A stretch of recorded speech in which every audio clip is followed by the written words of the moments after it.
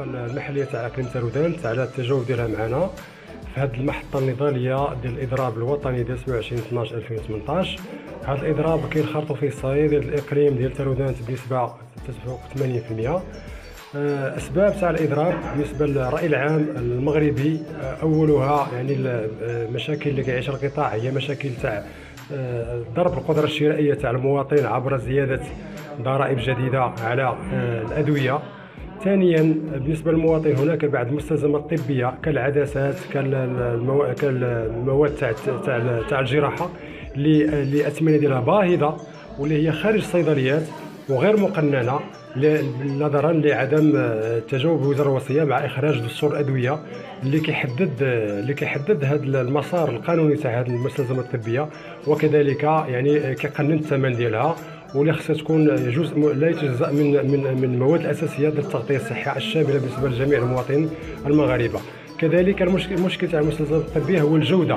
يعني المصدر تاع هذه المواد لا نج... يعني نجلوها تماما والمواطن هو الضحيه الأول تاع هذا تاع هذا القطاع الغير مهيكل وغير منظم. واللي الوزارة لم تستجب لحد الآن باخراج هذا الدستور الأدوية تاع تاع المستلزمات الطبية. كذلك مشكل تاع المواد البيطرية. إحنا في اقليم تارودانت عندنا يعني منطقة اللي هي فلاحية وفيها ضيعات فلاحية كبيرة وفيها يعني المواشي يعني واحد النسبة كبيرة تاع تربيه المواشي في الإقليم.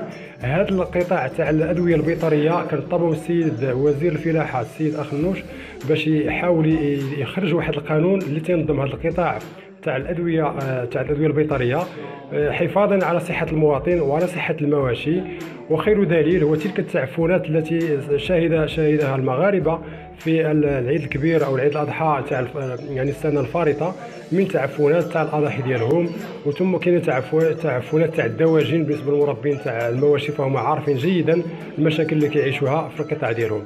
النقطة الأخيرة وهي كتعلق بالتغطية الصحية الشاملة كما تعلمون بأن يعني التغطية الصحية في المغرب لم ترقى إلى المستوى المعهود بحيث أن لم تصل إلى بعد كتفوت 30% زيد على ذلك أن النظام الرامد يعني كما جاء في الخطاب ديال صاحب الجلالة فهو يعني فيه اختلالات كبيرة بحيث أن الناس اللي كيستحقوا الرميد لم يستفيدوا جيدا من هذا من هذا من هذا من هذا المشروع الكبير تاع الرميد وبالتالي كنطلب إعادة النظر.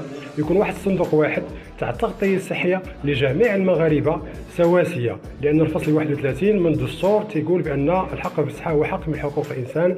وسيدنا الله يسرو هو هضر على هذه المسألة في الخطابات الأخيرة ديالو.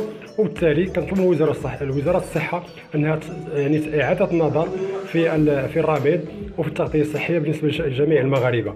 وأخيرا هناك بعض الضرائب اللي كتخرج من من الجامعات المحلية. وكنهضر على جامعه تاع تاع المجلس البلدي تاع تارودانت كيصيفطوا بعض الصيد بعض الصيادلة بعض des taxes اللي هما آه، يعني هكا خياليين 3000 درهم 2000 درهم.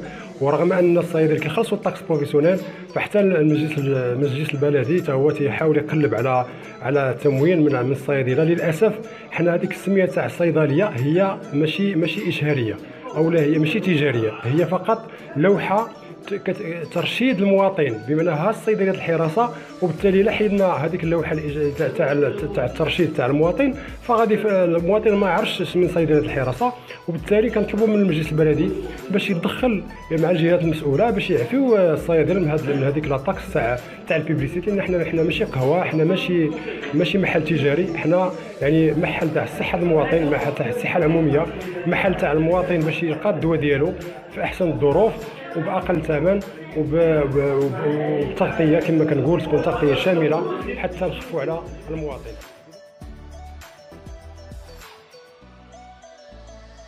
السلام عليكم الدكتورة ليلى الزمحي صيدلانية بمدينة تارودانت وأمينة المال نقابة تارودانت للصيادلة. اليوم إحنا مضربين 27 ديسمبر 2018 مضربين على المشاكل اللي كيعيشوا هذا القطاع. من بينو آه، الضرائب اللي تزادوا على اللي كيزادوا على الأدوية من اللي كتسبب في في المشكل في القدرة الشرائية للمواطن. آه، المشاكل الكبار وحنا كنقلبوا أنها تحل لينا في أقرب وقت. وكنطالبوا من وزارة الوصية انها تدخل وفي أقرب وقت باش يكون يتحل هذا المشكل. وشكرا كريم صيدليه نيتي عزه الصيدلية ايتي عزه العضو حماس هي حميد المكتب النقابه نترودانت نسكر لي ضربة غصاد اللي نجح الحمد لله تقريبا هي النسبة 80% الإخوان شاركن في الإضرابات نسكر الإضرابات على حساب المواطن. وشكون المواطن؟ تاني كان الهم اللي زوارن قبل نفكر في قيانة. المواطن الطريقة اللي سنخدم غيكاد يقا معرض هي العدد المسائل وردرت لي الحماية حماس المستلزمات الطبية اللي نزلين برا وردرت لي الحماية حماس المواد البيطرية اللي نزلين حلا سواق كريقات الكرر نتفات وسين يقيس لك رانا الزنزان الدوية ها البومادا الكزيمة ها البومادا نغايا ها البومادا نغايا ثلاث الفوضى حماس ثلاث الفوضى حماس المهنة دارنا يخص الوزارة أسر ترى البال. تبت الأمور نس اتسقي ارتسقي دي تسوف النصوص التنظيمية اللي راهي نضم غواداتي الا ندار نحن النصوص اللي يحتسي اللي يحدث الاستعمار هو 1922 عار المجتمع الدستور هو 2011 السن الزيكيز النصوص التنظيمية الظواهر 1922 الصيدلاني في مدينة ولاد برحيل من الجيل الجديد كي نقدروا نقولوا الجيل الجديد ديال الصيادلة الحديث حديث قيام صيدلية جديدة في ولاد برحيل.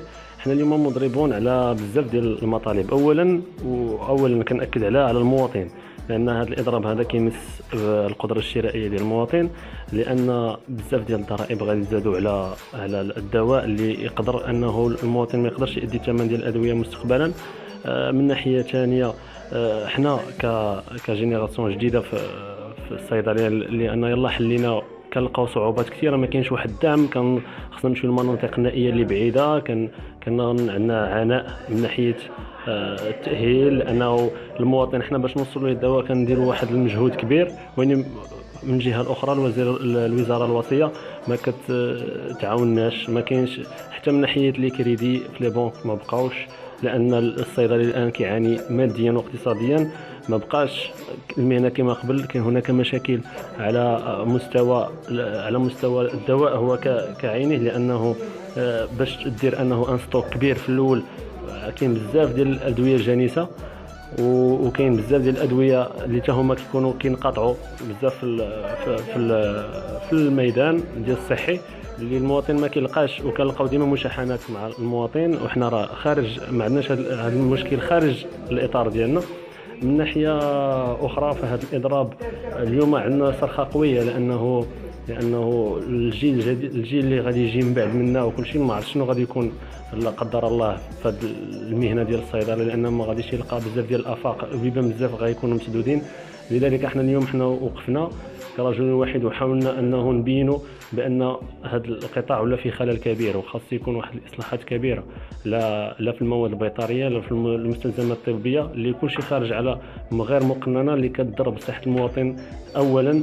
وحنايا ثانيا لأنه كنلقاو مشاكل من ناحية أننا الاستيراد ديالهم لأنه